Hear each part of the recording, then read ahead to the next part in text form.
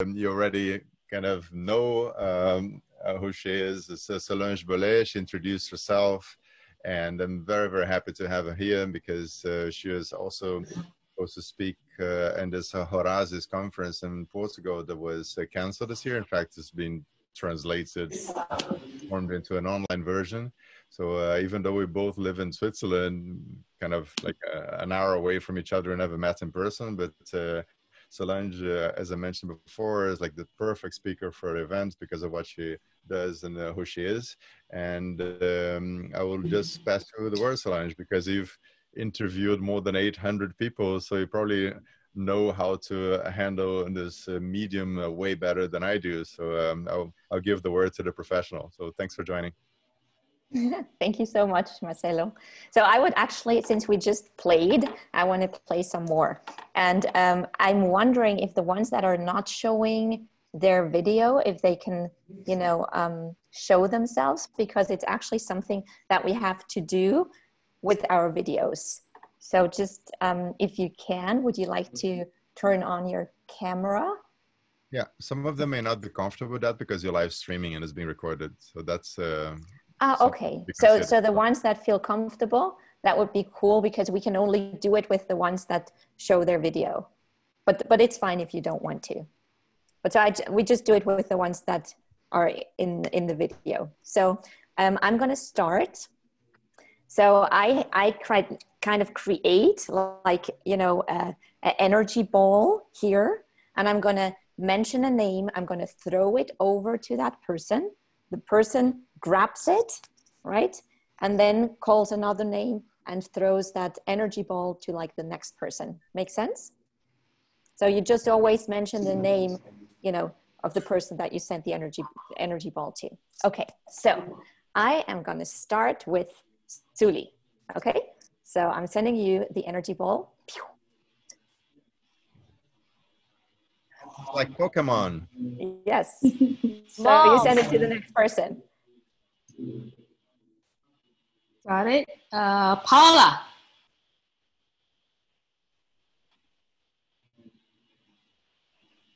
We cannot hear you.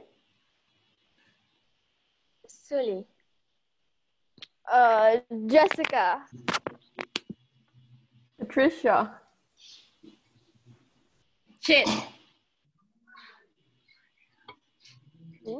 Oh, is she here? she, she, I don't know if she sees us. Maybe oh, pick okay. someone else. giving it to Marcelo instead. oh, but uh, you, you have to imagine me throwing uh, the ball um, okay. back to Solange. Thank you so much. So we do something else. Um, we can either receive that ball or what we can also do is like boom, meaning we reject it, right? So it goes back to the person who sent us the, the energy ball. Okay, so I'm gonna send it to Patricia. Julie. Um, Jessica. Boom. Uh, Michele. We can't hear you, Michele. Michele. Your Oh, audio. I have, I have an unstable connection. Ah, okay.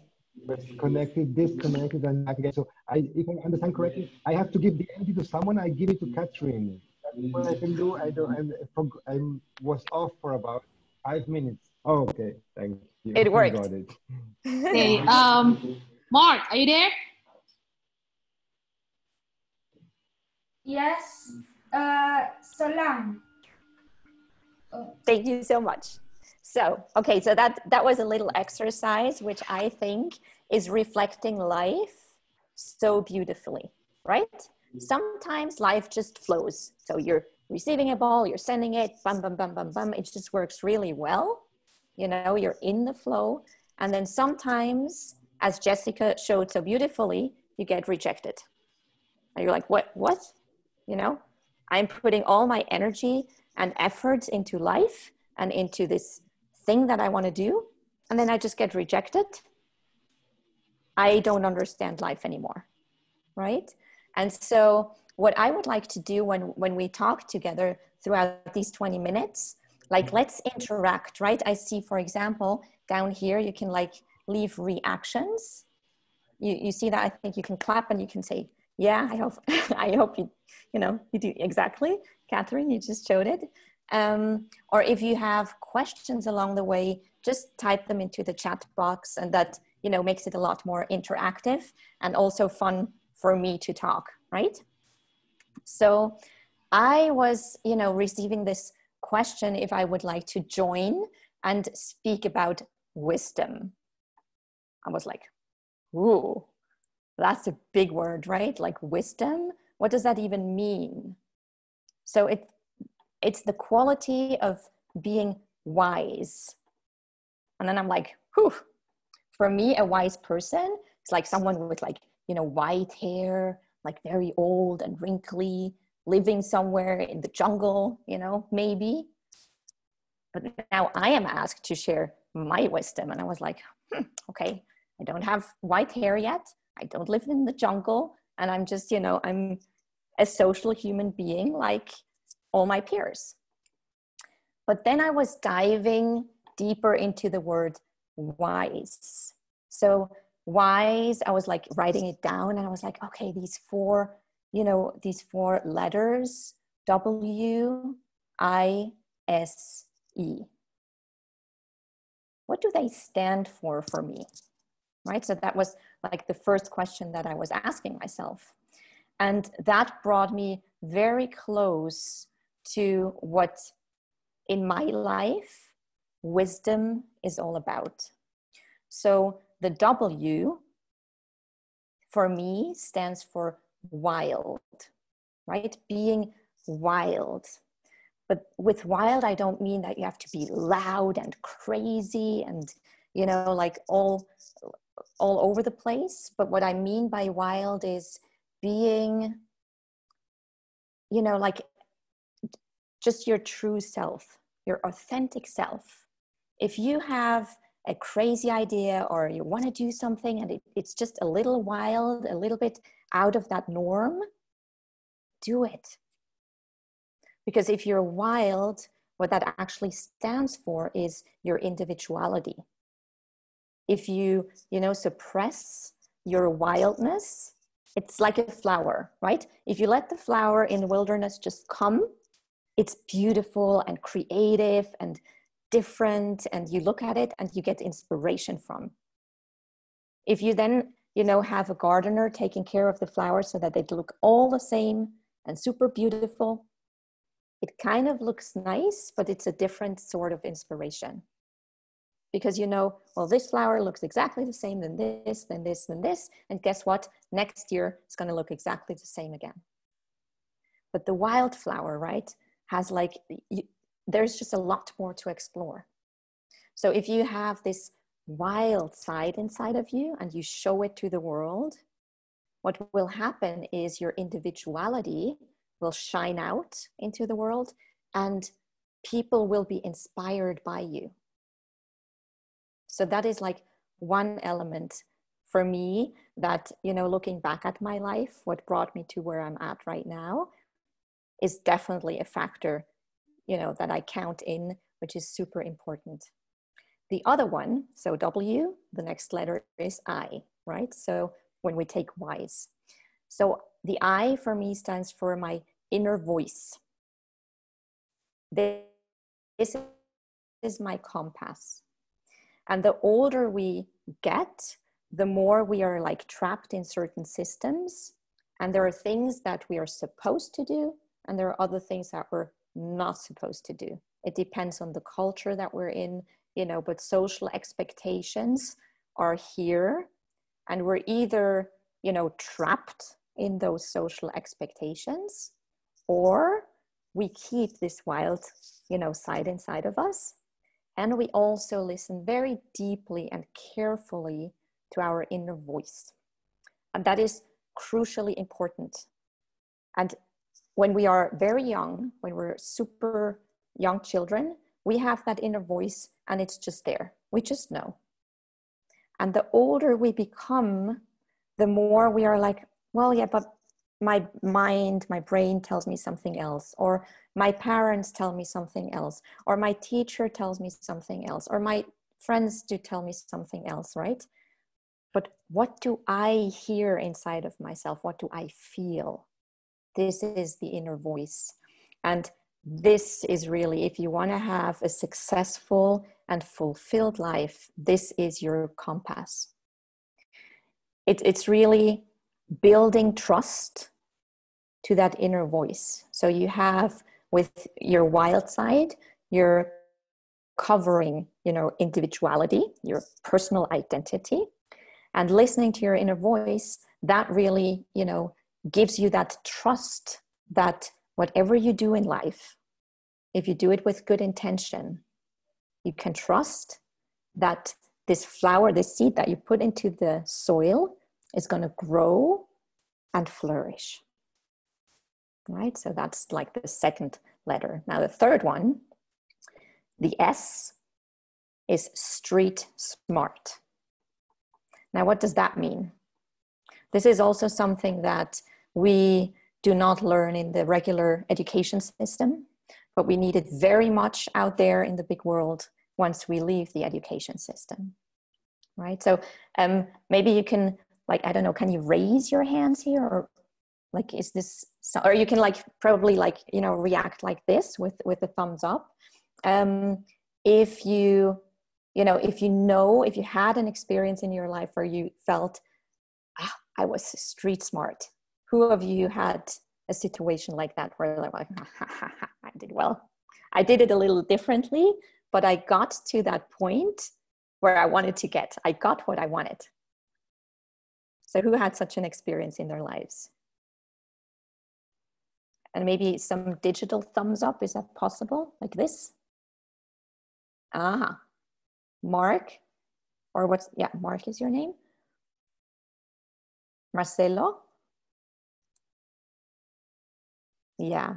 And the ones that are still like, you know, exploring, I am certain, absolutely certain, you will discover moments where you are like, huh, I have not learned that from the book so I'm not book smart, but I'm street smart, meaning I learned it through experiences along the way. And then the, the fourth letter, because these are like, th- like, you know, being wild, hearing your inner voice, and being street smart, that's all great. But it needs one more component to be successful and fulfilled and this is empathy right? So the e stands for empathy. Now um, does everyone here understand that word empathy? Because that's a big word. Or would you like me to dive a little deeper into that word for you to understand better? Maybe just write a note into the chat box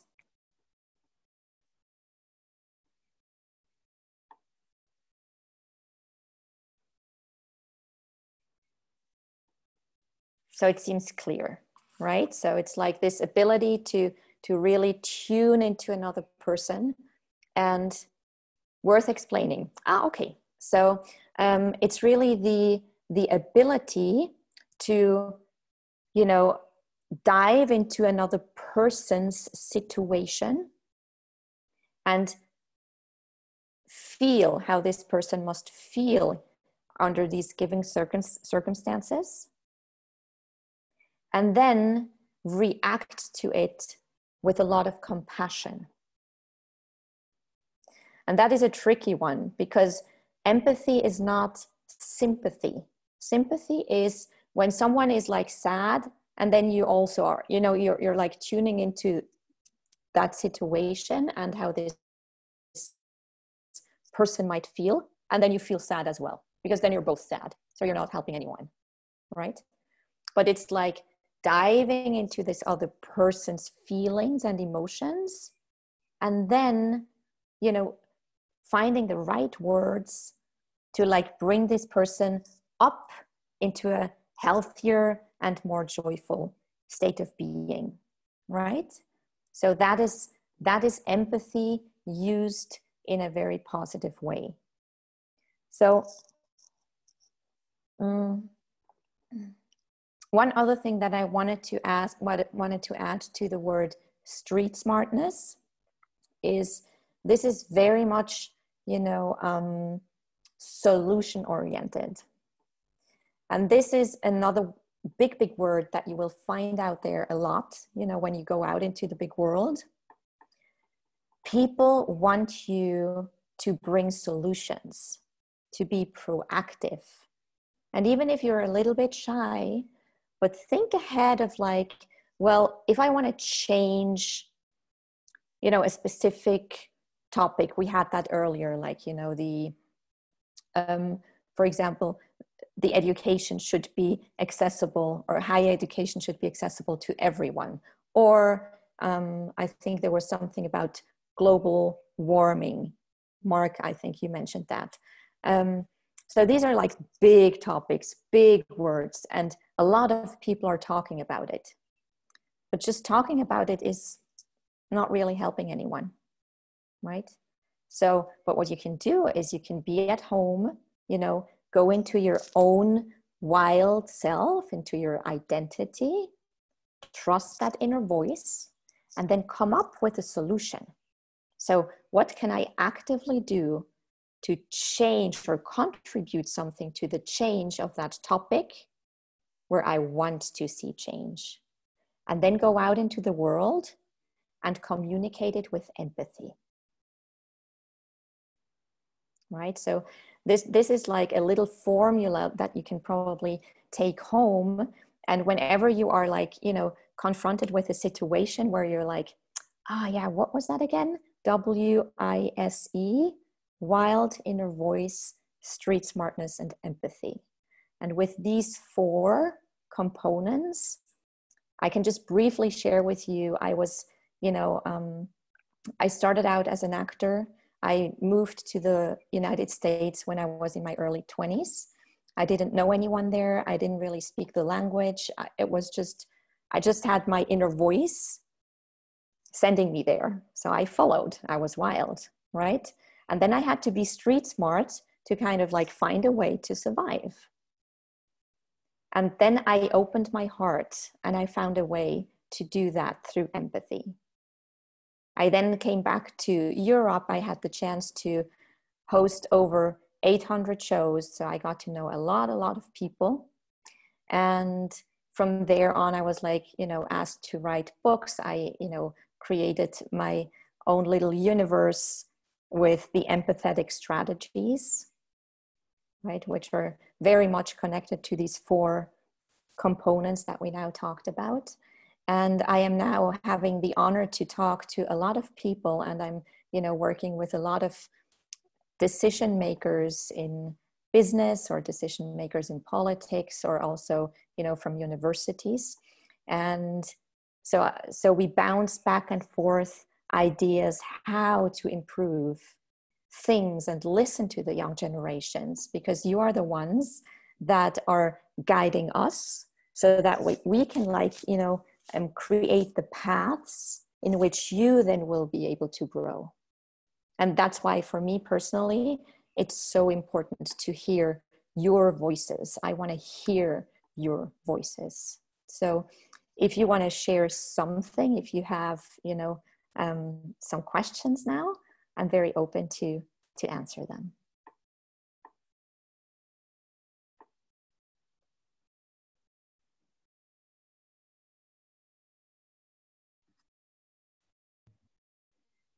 You could also ask for advice on like a situation going I, through your life right now and how she would handle or suggest you consider handling uh, that situation. So, uh, absolutely.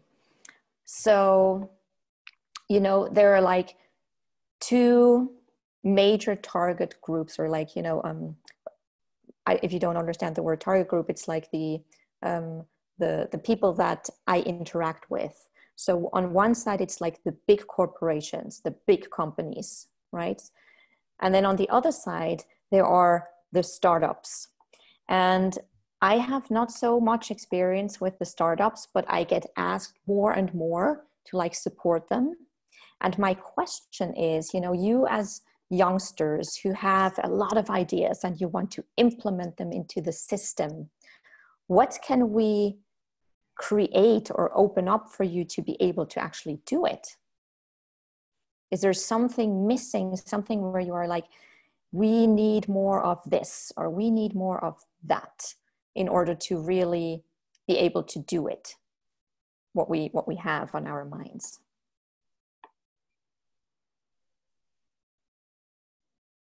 how can how can we support you? We by we i mean the adults who have you know the ability and you know the the connections that are needed in order to you know manifest things. Or is that a little bit of a, too big of a question Solange, you, you're the speaker, so you, you get to pick any of your victims. So you can say, "Hey, Yeah. Siri, what do you think?" okay She's organizer, so she all should- right i my eyes are looking at mark even though i don't see you but i see this beautiful globe so mark would you like to say something to that what would you like to see in changing in the world that we adults can really do and support you to participate in that as well Climate change in his case. Yeah, climate change. Yesterday there was a very interesting uh, presentation on um, on green hydrogen, and if more and more people start uh, looking at that and helping th- this the green hydrogen, I think uh, it could get bigger and bigger in the world and expand so that we use it in our everyday life. Because the only way the price will go down of green hydrogen is if it can be produced more easily with less money having to be used for the production. So if more adults well if more adults learn about this, help the companies who are working on green hydrogen, I think it could be a big change. and why do you feel that this could be such a big change Well, we've had this problem that the last 50 years in the world that because of uh, uh, C, CO2, I don't know how it's called in English. Uh, in German, it's CO2. And uh, CO2. C, okay, CO2.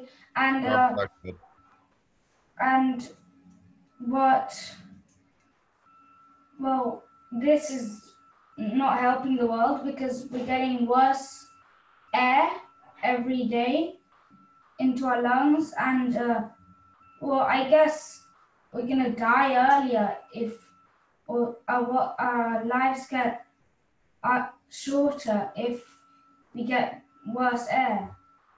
So if we can